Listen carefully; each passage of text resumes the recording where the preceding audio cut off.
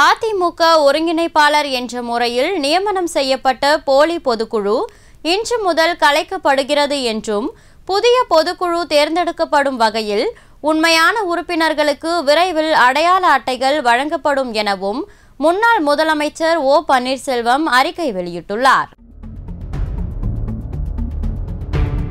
அதிமுக அடிப்படை உறுப்பினர்களின் பரிந்துரையை ஏற்று பொதுக்குழு இன்று முதல் கலைக்கப்படுவதாக முன்னாள் முதலமைச்சர் ஓ பன்னீர்செல்வம் அதிரடியாக அறிக்கை ஒன்றை வெளியிட்டுள்ளார். அந்த அறிக்கையில் அதிமுக பொதுச் செயலாளர் அடிப்படை உறுப்பினர்களால் தான் தேர்ந்தெடுக்கப்பட வேண்டும் என்று எம்ஜிஆர் வகுத்த அடிப்படை விதிக்கு முற்றிலும் முரணாகவும் அதிமுக நிரந்தர பொதுச் செயலாளர் ஜெயலலிதா என்ற விதியை மாற்றி உள்ளதாகவும் திருச்சியில் நடைபெற்ற அதிமுக அடிப்படை உறுப்பினர்களின் மாநாடு பரிந்துரை செய்துள்ளது என அதில் குறிப்பிடப்பட்டுள்ளது. மேலும் அடிப்படை உறுப்பினர்கள் யார் வேண்டுமானாலும் பொது செயலாளராக வர முடியும் என்கிற அடிப்படை விதியை மாற்றி சில புதிய நிபந்தனைகளை விதித்து அடிப்படை தொண்டர்களின் உரிமையை பறித்துள்ளதாகவும் அதிமுக சட்டத்திட்ட விதிகளின் அடிப்படைக்கு நேர்விரோதமாக செயல்பட்டு வந்த நியமிக்கப்பட்ட உறுப்பினர்களை கொண்ட தற்போதைய போலி பொதுக்குழு அறவே கலைக்கப்பட வேண்டும் எனவும் திருச்சியில் நடைபெற்ற அதிமுக அடிப்படை உறுப்பினர்களின் மாநாடு பரிந்துரை செய்துள்ளதாக ஓ பன்னீர்செல்வம் வெளியிட்டுள்ள அறிக்கையில் தெரிவிக்கப்பட்டுள்ளது.